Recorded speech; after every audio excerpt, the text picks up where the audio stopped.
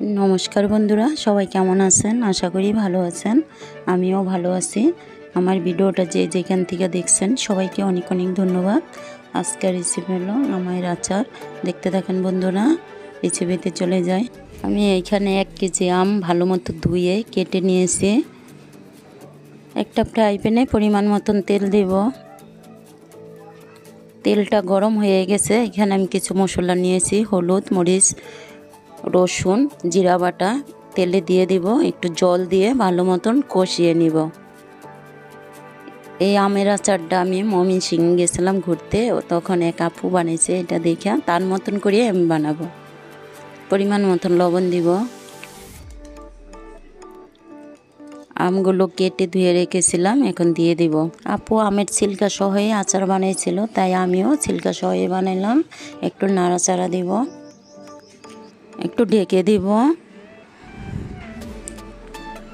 ছয় সাত মিনিট পর ডাকনাটা উঠিয়ে নেব।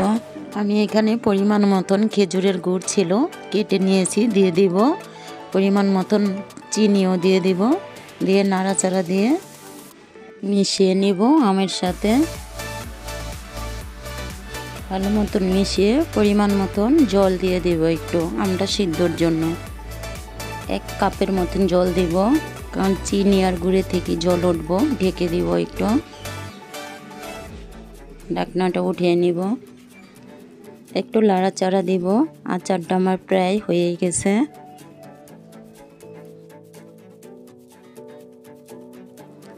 এখানে আমি এক চা চামচ সরিষা বাটা দিয়েছি, দিয়ে লাড়াচাড়া দিব, কারণ সরিষা বাটাটা দিলে অনেক ভালো হয় আচারে।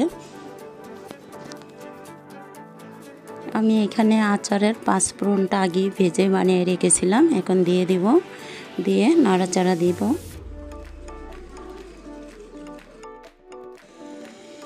আচারটা এরকম করে আপু বানিয়েছিল। আমিও দেখে এভাবে বানাইলাম। খুবই মজা হয়েছিল আচারটা।